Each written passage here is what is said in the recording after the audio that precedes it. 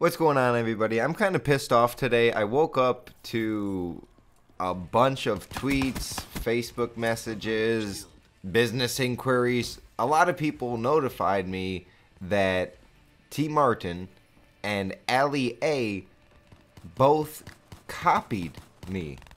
Now, I'm outraged. I was doing some research and I, I found by doing a few seconds of research that this is true. They did copy my idea of Black Ops 3 crypto key wager matches. Now, as you guys know, I made a video called Black Ops 3 where I was disappointed in the features in Black Ops 3 for party games, and I felt that they could add not only more party games, but they could include a betting system like they did in Black Ops 1.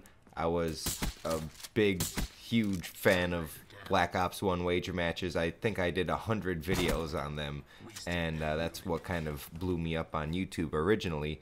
And I had this idea, and I thought it was uh, quite simple, and I asked David Vonderhaar to, to please add it. Now, four days later, TmarTn and Ali A tweet and make a video about the same exact idea, and I'm fucking pissed off because not, you know, it, it TmarTn just raised, I th- and the race, I think, raised four hundred and sixty-one thousand dollars for charity and veterans. And you know, you can't judge a book by its cover. You, you think TmarTn's this good guy, he does this nice thing, but then he stoops so low and it does one of the worst things ever that you could ever do to another person. Like, how low can.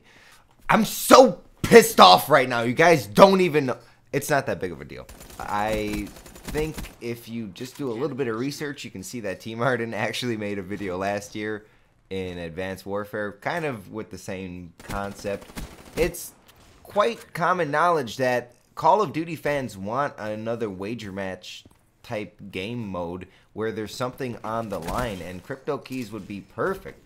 And maybe my video did remind TmarTn to do like the yearly rendition. As a Call of Duty content producer, uh, there's some videos that you make every year, and I think we've been asking for this since Black Ops 1. So, everybody tweeting me, you guys need to calm the fuck down. I'm not mad at TmarTn or Ali A. I'm actually really glad that great minds think alike and they know what's good for Call of Duty. They're Call of Duty fans too and I'm glad they're using their voice to try to make this happen. And let's be honest, if we're going to be mad at anybody, we're mad at whoever's in charge over at Activision making these lackluster, or the, the game developers, every year over and over it gets worse and worse and worse. They add gun game and they think that's good enough. They just put gun game in infected and say, "Oh, that's that's fine. They don't even have infected in this fucking game type. Oh my lord. Oh my god, my voice just cracked. I'm getting so passionate about this. And this gun game sucks compared to Black Ops 1. I just like back in the day. I'm not saying the voice acting was better, because we all say the nostalgic, oh, back in the day the voice acting was better. That's debatable, but they just gave more voice cues in Black Ops 1 gun game and the party games when you got humiliated. In sharpshooter when there was a few seconds left uh, when you got into third place in the money they don't have that anymore. The person in first place was indicated by a gold icon on the radar instead of a red one. And this is kind of sad. I'm going to have the greatest finish to a black ops 3 gun game that could ever happen. And it is pretty epic don't get me wrong. But this is almost like the best that you can do. And it was it was pretty cool. Okay, it's pretty cool, but how can I top that?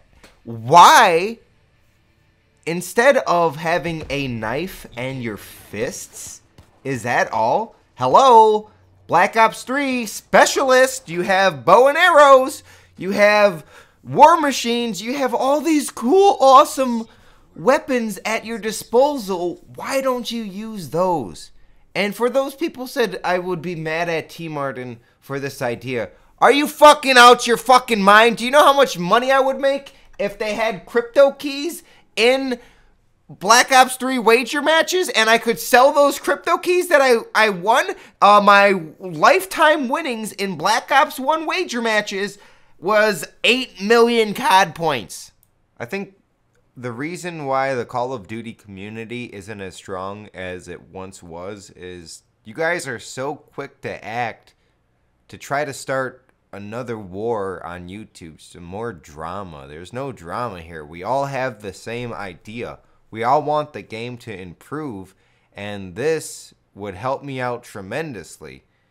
Having wager matches back in, in Black Ops 3 would be so good for my channel, and T and Ali A trying to have that happen is not an act of war. It's not a bad thing. I want this to happen, and I made that clear in my Black Ops 3 video, and they wanted it to happen too. What's so bad about that? Why can't we all get along? Why can't we just be friends? Why can't we be a community?